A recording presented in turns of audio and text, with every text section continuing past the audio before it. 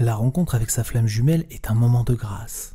Pour la première fois de sa vie, nous nous sentons enfin complets, en harmonie comme si nous avions retrouvé l'autre moitié qui nous complète. Les signes d'une connexion sont semblables à ceux d'un coup de foudre. Néanmoins, notre ego peut aussi nous jouer des tours et nous mettre sur une fausse piste. Il nous arrive à penser que nous sommes en présence de notre âme jumelle alors que ce n'est pas le cas. Quelquefois, nous voulons tellement réaliser cette rencontre que nous nous aveuglons sur les sentiments et les ressentis de l'autre. Dans cette vidéo, je voulais vous donner les signes visibles que ce n'est pas votre flamme jumelle, afin que vous ne tombez pas dans les pièges de l'ego et surtout afin de ne pas souffrir d'une rencontre qui n'est qu'un mirage de la reconnexion avec sa véritable flamme.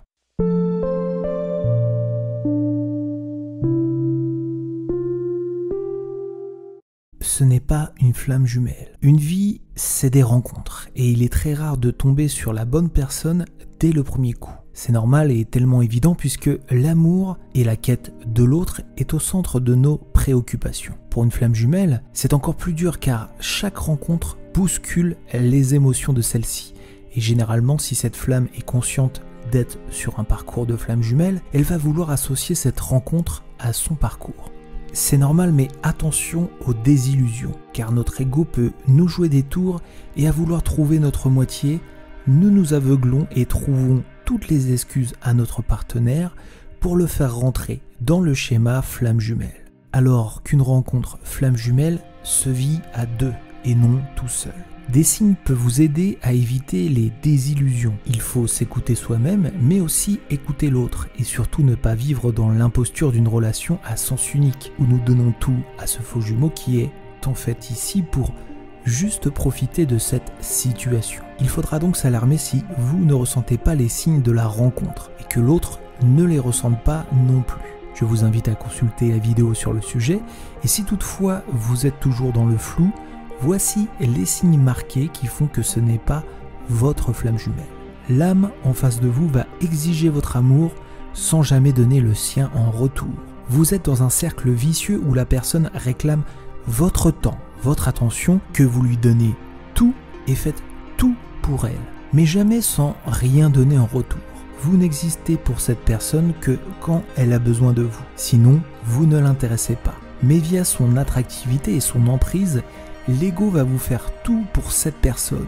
De plus, si vous êtes aveuglé par la quête de la flamme jumelle. Et du coup, cette personne vous abandonne à plusieurs reprises et à plusieurs moments, toujours dans la fuite constante, surtout quand vous la poussez dans ses retranchements. Quand vous lui demandez de s'ouvrir un peu plus, elle se referme toujours plus.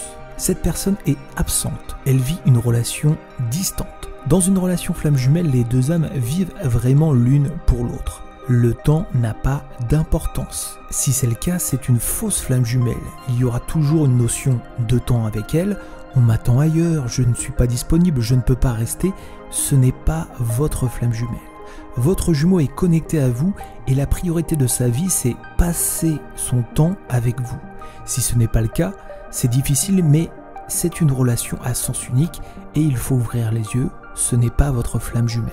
En réalité, elle ne s'intéresse pas à vous, elle n'est pas tournée vers vous, elle ne vous demande jamais ce que vous faites, comment ça va, ce que vous ressentez, elle n'est intéressée que par elle et elle seule. Et le pire, c'est qu'elle fait semblant de s'intéresser à vous quand elle voit qu'elle perd son influence sur vous ou quand elle a besoin de vous.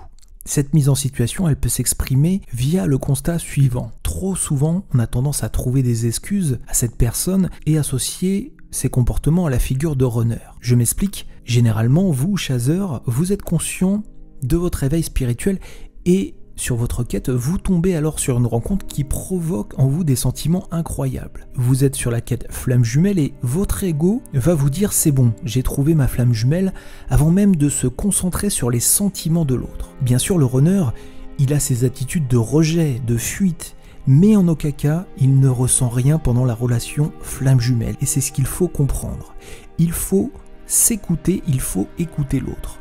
Une relation flamme jumelle, même si elle peut avoir des bas, même si généralement elle est amenée à la rupture, elle se passe des deux côtés. C'est la quête de la flamme jumelle, c'est une quête commune.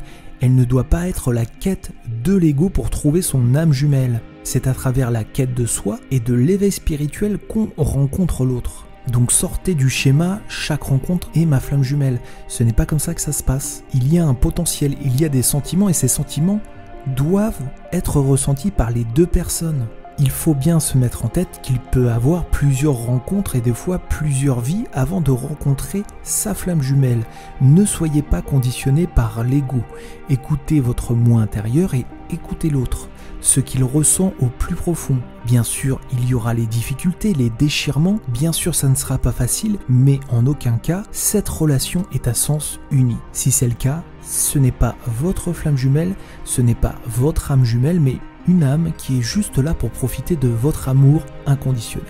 Voilà pour cette vidéo, un petit peu plus courte que d'habitude. J'espère qu'elle vous aura aidé, surtout si vous traversez cette période de votre vie en ce moment et que vous vous posez des questions. N'hésitez pas à communiquer avec votre partenaire et n'hésitez pas, si vous le souhaitez, à partager votre expérience avec la communauté, vos ressentis. Vous pouvez le faire dans l'espace commentaire. Je vous invite à consulter la playlist entière sur les flammes jumelles pour vous guider et bien sûr vous abonner à la chaîne pour vous accompagner dans votre éveil spirituel.